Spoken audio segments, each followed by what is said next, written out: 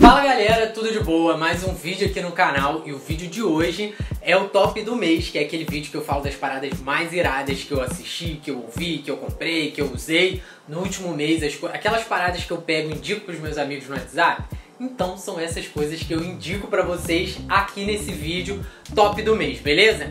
E aí, se você curte conteúdo de moda e cuidado masculino, você tá no lugar certo. Se inscreve aqui no canal, que é de graça, não paga nada. É só você clicar nesse botão vermelho aqui embaixo. E a primeira coisa que eu quero indicar é essa pochete aqui eu usei muito, na verdade eu venho usando essa pochete aqui desde janeiro, mas agora nesse último mês eu usei bastante porque além de usar para os looks do dia a dia, eu tenho usado ela também para ir à praia.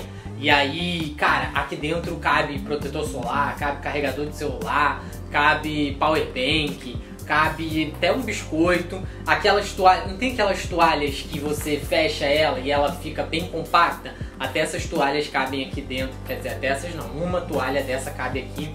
Enfim, e aí eu usei até para fazer uma trilha. Claro que não era uma trilha que tinha que levar água, na, na verdade até tinha que levar água, mas aí eu levei na mão mas enfim, dependendo da trilha que tu vai fazer, até dá pra colocar ela. Ela é perfeita, tipo, pra ir dar uma pedalada, você sair assim, sabe, de casa. Pra praia eu usei, pra praia não, pra trilha eu cheguei a usar ela na cintura, tô deixando passar umas fotos aí pra vocês.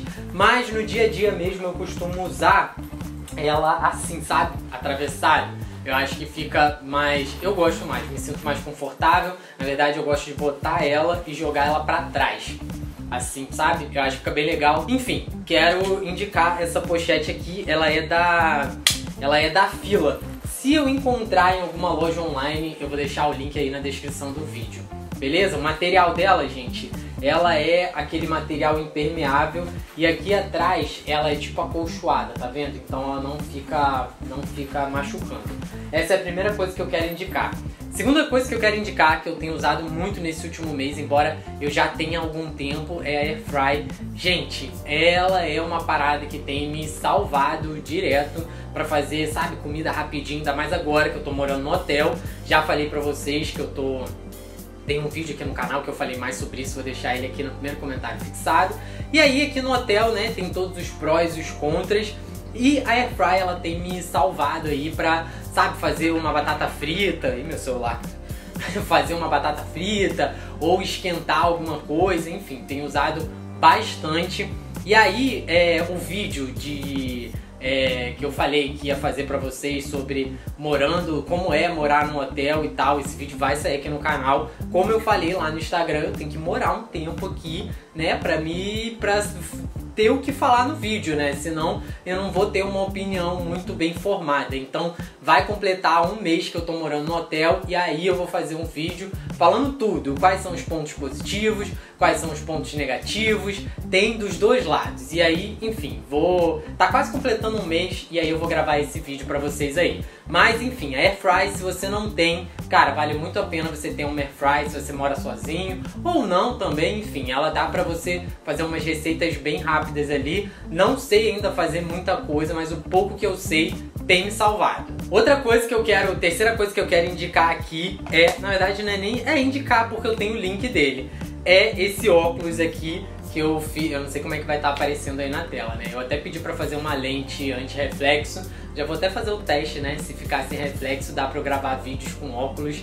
Caraca, que diferença! Agora eu consigo ver o monitorzinho da câmera, porque sem o óculos eu não vejo nada, eu vejo tudo embaçado. E eu já tava mais ou menos, mais, mais ou menos, não, mais de dois anos sem usar óculos. É, eu tinha perdido o meu óculos no Uber e aí não mandei fazer mais. E agora resolvi fazer, até porque aqui no hotel a televisão, aqui no hotel não, né? Tem que me acostumar a falar aqui em casa. Aqui em casa a televisão fica um pouco distante da cama e aí eu não tava conseguindo ver filme legendado, porque eu não tava conseguindo enxergar a legenda. Aí ou eu tinha que ver com o computador, né, na, na cama, ou eu tinha que ver o filme dublado. Então eu falei, não, vou mandar fazer esse óculos logo para poder voltar a assistir filme legendado na televisão sem precisar ter que ficar com o computador aqui na cama. E aí, gente, deixa eu falar sobre a armação dele. É uma armação redonda. Eu nunca tinha usado óculos redondo. Eu sempre, eu já uso óculos há, sei lá, um bom tempo, mas eu sempre fazia aquelas armações mais quadradas e eu tava afim de uma armação redonda e tal. E eu gostei bastante desse daqui. tô olhando aqui no espelho que tem do lado. E aí, e eu acho que tá com bastante reflexo, né? Quando eu mexo a cabeça assim, enfim, vou ver no vídeo como é que tá aí. Eu comprei ele pela internet, vou deixar o link dele aqui no primeiro comentário fixado, vai lá dar uma olhada. E aí, deixa eu só falar um pouco rapidinho sobre questão de modelo de óculos. Gente, vocês costumam me perguntar muito isso. Tipo, ah, Thiago, qual modelo de óculos eu... Ah, agora eu vou ficar com ele. Qual modelo de óculos eu compro e tal. E aí, o que eu quero dizer é o seguinte. Você tem que entender qual é o formato do seu rosto. Primeira coisa que eu posso, assim, rápido, né, para o vídeo não ficar longo, posso fazer um vídeo específico falando sobre o modelo de óculos, mas duas dicas bem rápidas que eu quero dar aqui. A primeira, se você tem a, o formato do rosto redondo ou se o seu olho ele é muito redondo, a sua boca é arredondada, não é uma boca quadrada, enfim, se você tem as suas feições redondas, o nariz não é um nariz pontudo, é um nariz mais redondo, não é interessante você usar óculos que sejam arredondados, porque o lance é você fazer o contraponto. Então, se o seu rosto é redondo e se você tem as feições mais arredondadas, o interessante é você fazer um contraponto com uma armação de óculos mais quadrada. Já se você tem as feições mais quadradas, mais retas, não quadradas, né? mas tipo, sua boca for mais reta, o seu, seu olho for com traços mais retos, o seu nariz for mais pontudo, aí vai ficar interessante você usar um óculos redondo porque você vai fazer o contraponto. Vamos falar do meu caso aqui. Eu tenho as feições do rosto mais arredondadas. A boca é mais arredondada, o nariz também não é aquele nariz pontudo, o olho também, tá vendo? Ó, é um olho mais redondo. Então a sobrancelha também, tá vendo? Ela vai fazendo um formato mais redondo, não aquela sobrancelha reta. Então, teoricamente, o óculos redondo, por essa técnica, não ficaria bem em mim. Mas o meu rosto, ele não é redondo, ele é um rosto mais oval. Então, um rosto oval, ele fica bem com quase qualquer tipo de óculos. E aí, por isso, eu posso usar um óculos redondo que não vai ficar ruim no meu rosto, vai ficar legal. E aí, você leva pra tua realidade aí também. Se você tiver um rosto mais oval, cara, você tá feito, porque praticamente todos os modelos de óculos vão ficar bem em você. Enfim, foi bem por alto, mas se vocês quiserem que eu me aprofunde mais sobre esse lance de óculos e tal, armação, deixa aqui nos comentários que eu posso fazer um vídeo só sobre isso, beleza? Não vou continuar o vídeo com óculos porque eu não sei como é que vai estar o reflexo, vou ver aí na hora que eu estiver editando. E a última, a última não, penúltima coisa que eu quero indicar é esse chapéu aqui Cara, esse chapéu aqui, ele tem me salvado nas trilhas da vida porque ele faz uma sombra. Gente, a melhor coisa que tem é a gente usar a moda ao nosso favor.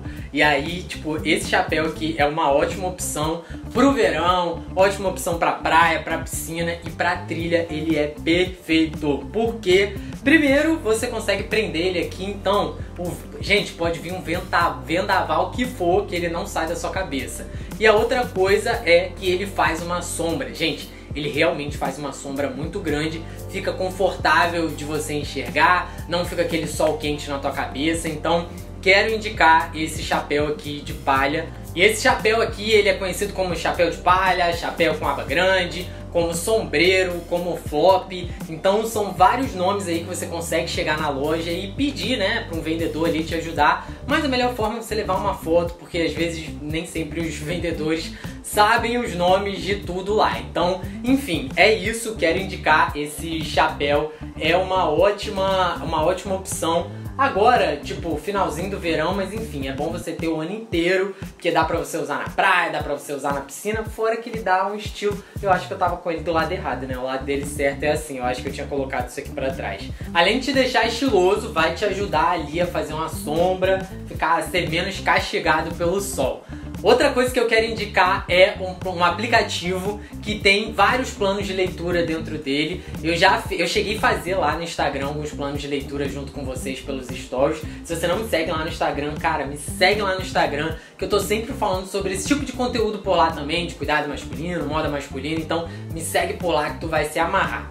E aí, eu não vou indicar um plano de leitura específico, pelo menos não esse mês, pode ser que mês que vem eu indique um plano de leitura específico. Esse mês eu quero indicar o aplicativo. O aplicativo, ele é o, aplicativo da Bíblia, mas dentro dele que tem esses planos de leitura. E gente, tem plano de leitura para negócio, para desenvolvimento pessoal, para homem, para mulher, para quem tá passando por depressão, enfim, gente, o legal é você entrar e encontrar um plano de leitura que tenha a ver com aquilo que você esteja passando no momento. E são planos de leitura curtinhos, sabe? De tipo 5 dias, 7 dias, 6 dias. Então não é aquela parada que você vai ficar um mês. Tem plano de leitura lá de um mês, mas tem esses curtinhos também. E assim, esse plano de leitura, esse aplicativo no geral, tem me ajudado muito com os planos de leitura nesse período que eu tô passando um pouco mais turbulento, enfim, que eu tô passando por algumas coisas que eu tô tendo que me reajustar, replanejar a minha vida em algumas áreas, uma coisa que eu não tava esperando que acontecesse, mas enfim, é, esse aplicativo, esses planos de leitura têm me ajudado muito, inclusive eu gravei um vídeo aqui no canal totalmente baseado nesse plano de leitura. Vocês curtiram muito. Eu não cheguei a falar no vídeo que eu tirei do plano de leitura, mas eu tirei de lá que foi o vídeo de como se destacar na adolescência. Eu vou deixar o link desse vídeo aqui no primeiro comentário fixado. Vocês se amarraram demais. Na verdade, no vídeo eu não quis falar que eu tirei do plano de leitura, que eu fiquei com medo de vocês acharem que era uma parada muito cabeça e tal, quando na realidade não é. É só você ver a linguagem que você vai usar para falar sobre aquilo. E aí, enfim, vai lá, dá uma olhada nesse aplicativo que eu tenho certeza que vai ter um plano de leitura que vai estar, tá, sabe, diretamente ligado àquilo que você está precisando e vai te dar uma ajuda ali, porque o plano de leitura tem um texto que eles chamam de devocional, que vai ser um texto falando sobre um, determinado assunto, que é o que você vai escolher, e aí de repente tem um ou dois textos na Bíblia que estão relacionados com aquele texto. Exemplo, ah, é, até o que eu vi lá, questão de mudança de mente, sabe? Você mudar algumas coisas na sua mente.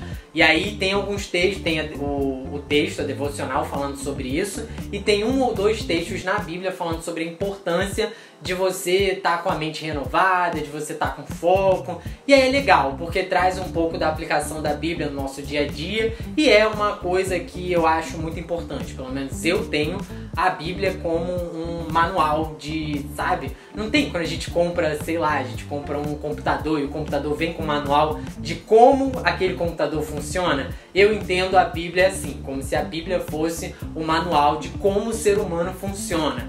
E aí, enfim, é sempre legal ler a Bíblia ou ler textos que façam menção à Bíblia. Eu gosto muito. E aí, por isso eu quero indicar esse plano de leitura, beleza? Se você assistiu esse vídeo até o final, comenta aqui embaixo chapéu de palha, que eu vou saber que você assistiu até o final, me deu essa moral. Se você ainda não curtiu o vídeo, curte o vídeo e me conta aqui nos comentários também qual dessas coisas aqui você já tem e me indica alguma coisa aí, alguma parada que você tenha usado nesse último mês que você acha que vale a pena ser indicado, me indica aqui nos comentários. Thiago, pô, esse mês eu usei tal tênis, muito confortável, eu comprei tal jaqueta, enfim, galera. Todo mundo tem alguma coisa para indicar. Eu fiz as minhas indicações aqui, agora eu quero ver as indicações de vocês aqui nos comentários. Como eu sempre digo, o vídeo a gente começa o assunto aqui, mas a gente continua ele aqui nos comentários, beleza? Então é isso, a gente se vê no próximo vídeo. Tchau!